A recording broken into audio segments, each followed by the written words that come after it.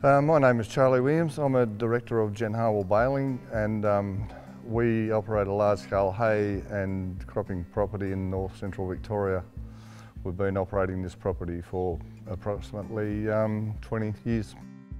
Uh, we bale oat and hay specifically for the export market, which goes to Japan, Korea, Taiwan, all that place over there. We bale vetch hay, which is a break crop we use on the farm, and that goes to the domestic dairy area in Victoria, or anywhere in Australia basically. Uh, roughly 8,000, 6 to 8,000 tonnes of export hay and we produce about 20,000 tonnes of hay on our farm per annum.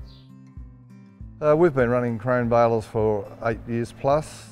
Since buying the um, new uh, Krone HDP high speeds, we've gone from four balers back to three balers and still doing at least the same amount of work, if not more. The biggest cost benefit is being able to do the hay baling while conditions are ideal and within a time frame which allows us to get our hay in before inclement weather or things like that happen which can um, we can lose our hay very easily.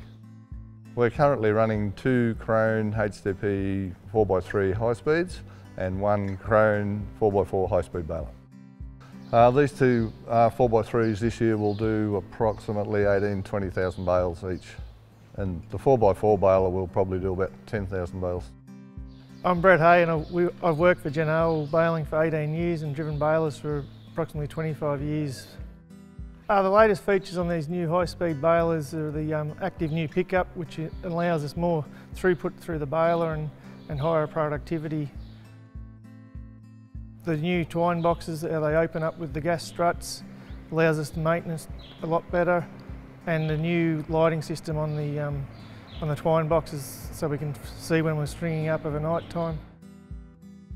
Uh, the clutch system on the on the new high speeds on the pickup allows us to bale to the maximum th throughput and um, without blocking and if we do happen to block it up it'll um, all we do is idle it back and the clutch will kick in and will um, allow the baler to clear without the driver having to hop out and clear it manually. The new scales allow the um, baler to drive drive the baler to a, a weight and um, and we can load the trucks to the maximum weight without having to worry about being overloaded and we can downsize if we need to be and with the driver of the truck knowing what exactly what their bale weights average are. The tandem axles are um, good in the paddocks to make them smooth out. Um, allows us faster ground cover time and um, which allows us more more productivity to the um, per day. Uh, the camless pickup on the Krone has been a good innovation. Um, we haven't had any trouble at all with any of the balers since um, we've bought them. The new blower system on the um, Krone high-speed 4x3s is a great innovation.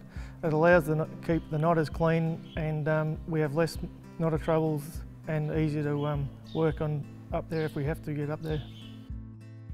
In oat and hay we can bale up to um, over 700 kilos bales in good going conditions, no worries at all. And with the throughput of 70 tonne an hour we can cover some ground. Uh, in straw bales, depending on the conditions, we can get up to 600 kilos, no worries at all, and that's not even running the baler at full maximum. On our farm we have uh, a large storage capacity and with the extra weight of the bales that the balers can achieve, we can fit a lot more hay into our existing sheds and also with our trucks we can load them to the maximum allowable limit um, and which is or lessens our freight price and increases the um, amount of hay that we can cart per day. Um, over the years we've, um, we've dealt with Krone, as I said, for a number of years now. When we first started with Krone we had quite a few issues with the balers but Krone have been happy to work along with us. They've sent out engineers to look at the problems, they've taken them on board and we've had a, uh, such a rapport that now we um, are still staying with Krone. We use their high-speed bales because they're now a great product with high reliability and we're very happy with the service that they provide and for the balers themselves. Um, look, one of the great things about Krone, going across to Krone and seeing where they build the machines, how they build them, the way they paint them and manufacture them and test them, gives us a lot of faith in their ability to build a, a very good machine. Uh, we've had Bernard Krone come out here to visit our farm in Australia and um, he's helped with small issues that we've had. And uh, yeah, all in all, it's been a really great relationship and um, I think it'll only strengthen over the years if they continue to pr produce a fine product.